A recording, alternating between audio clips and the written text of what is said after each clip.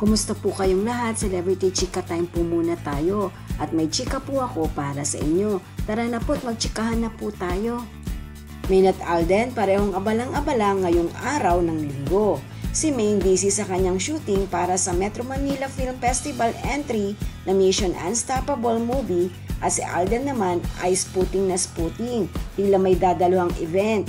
In fairness, so gwapo niya sa kanyang kasuotan. Hindi na makuwang magpahinga ng dalawa sa kakatrabaho. Si Alden kagagaling lang sa tawi-tawi ay diretso agad sa iba pa niyang showbiz commitment.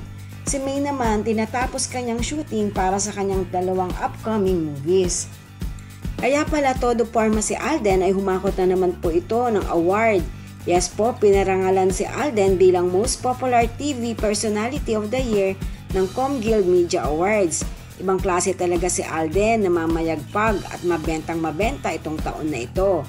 Sa dami ng parangal na kanyang natanggap dito sa ating bansa maging pang international pa. Well, deserve na deserve naman niya sapagkat masipag at may determinasyon si Alden sa kanyang trabaho. Siyempre, nag-uumapaw na naman kasiyahan ni Alden sa sobra-sobrang blessings na kanyang natatanggap. For sure, very proud kanyang YP main. Yan silang dalawa nagsusuportahan sa isa't isa.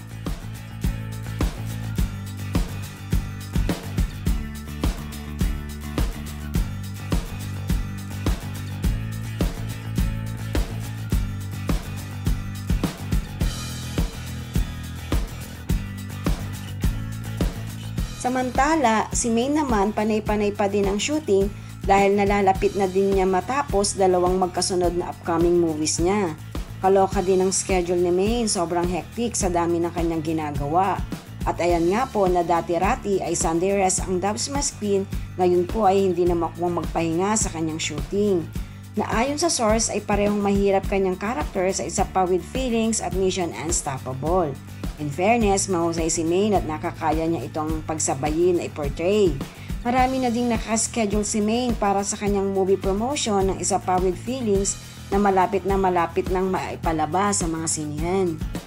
Yan po ang aking chika updates for today. Salamat po sa inyong panunood. Huwag po kalimutang mag-subscribe. Pwede po mag-comment sa ibaba, basta wag lamang po harsh o nakakasakit sa isa't isa. Salamat po muli. Spread love, not hate.